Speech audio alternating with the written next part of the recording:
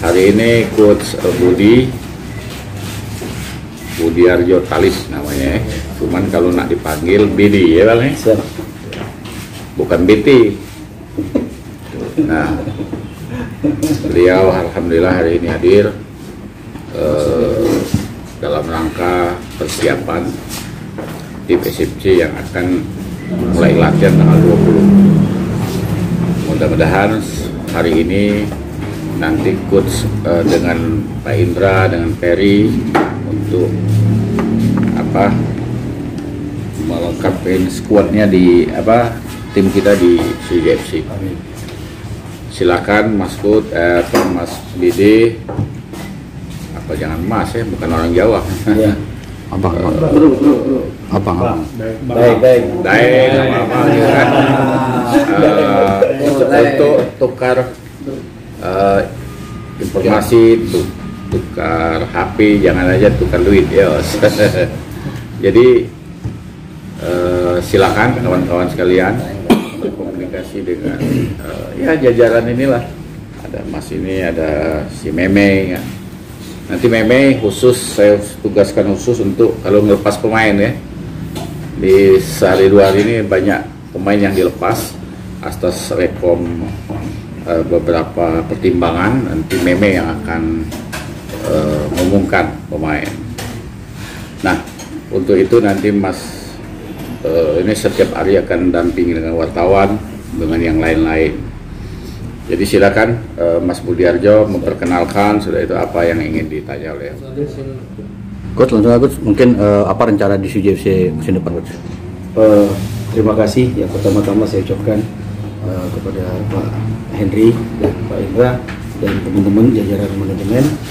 Eh, terima kasih saya sudah dijamu walaupun makan pempek tapi alhamdulillah ini berkah mudah-mudahan menjadi menjadi berkah buat saya dan eh, dengan kehadiran untuk di SP untuk tahun depan Sriwijaya Eh, saya juga akan berbuat ya seperti apa yang saya dapatkan dari kemarin-kemarin yang saya pegang tim dan itu adalah target utama kita adalah lolos ke Liga 1 dan saya akan berbuat dan bekerja untuk Sriwijaya.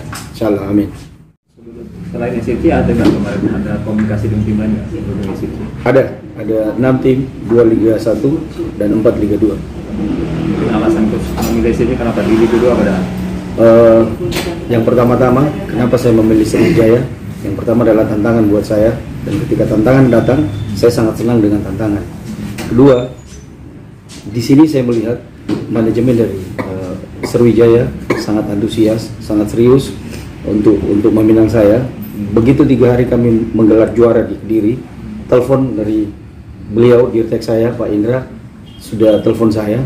Pas kami eh, juara tiga kemarin eh juara satu itu dapat telepon dari Pak Indra langsung Pak Indra Yadi. Dan di situ saya melihat berarti Sriwijaya serius dengan saya. Dan sedangkan Sriwijaya apa eh, Persi Kediri kami menjuara tapi kayak rasanya degradasi. Saya sudah memberikan juga apa eh, informasi kepada Pak Hendri Pak Indra dan teman-teman pada saat di kemarin kemarin. Sudah berapa kali ke Palembang sudah empat kali sampai ini. Kali. iya. Dengan tim yang berbeda ya? tim yang berbeda. Pertama PSM Makassar, yang kedua Persipura Jayapura, yang ketiga sama Persi Kediri, yang keempat sama tuan rumah sendiri. Fasilitas SCT gimana coach lihat? Eh, fasilitas bagus ya. Stadion. Di stadion wah cukup wah gitu ya dan saya merasa eh, luar biasa buat saya. Ya. Mulai dari apa namanya uang gantinya, eh, stadionnya, rumputnya dan eh, mulai dari eh, sisi yang di luarnya parkiran. Tantangannya apa coach di Sriwijaya? tantangan. Saya pikir eh, tantangannya juga eh, saya juga harus konsekuensi ya sebagai eh, pelatih saya harus menerima ketika tantangan datang ya saya juga harus memenuhi target itu ya tantangan itu dan insya Allah saya apa yang saya omongkan ta- tadi bahwa saya siap untuk itu.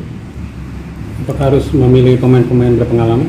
Eh, saya pikir tidak perlu ya Eh, pengalaman pun kita juga nanti berkomunikasi dengan jajaran pelatih ada Gus Ferry di sini ada Pak Indra selaku direktur saya saya tetap akan komunikasi dengan beliau Eh, mungkin eh, pemain yang kerja keras itu yang eh, kita kedepankan Sejauh ini bagaimana komposisi pemain timnya? Sudah fix. Eh, sejauh ini eh, ada Baru ya kami baru ini ya, baru bernegosiasi. Mudah-mudahan eh, dalam waktu dekat ini kami sudah rampung dengan pemain, dengan dirtek saya Pak Indra, dengan Kusweri. Termasuk gerbong dari Kediri ada? Gerbong Kediri cuma empat orang, yang lainnya ada ke Madura, ada ke Tangerang dan ada sendiri di Persik Kediri. Ini pemain inti yang di Kediri. Di Kediri tidak semua inti itu, ya, enggak, bukan inti juga, karena saya merotasi pemain itu nggak harus inti. Tapi ketika lawan berbuat strategi seperti apa, saya akan juga memain karakter yang yang berbeda saya saya mainkan. Coach, coach sepertinya lebih suka memainkan pemain muda daripada pemain berat pengalaman. Oh, filosofi yang coach ini di sepak bola seperti apa sih coach? Eh, saya memainkan kenapa saya memain, banyak memainkan peranan kepada pemain muda karena mereka pertama mau kerja untuk tim yang kedua mereka punya tenaga dan yang ketiga ketika kita memberikan informasi mereka itu eh, cepat langsung dengan apa yang saya sampaikan mereka langsung eh, apa namanya connect di lapangan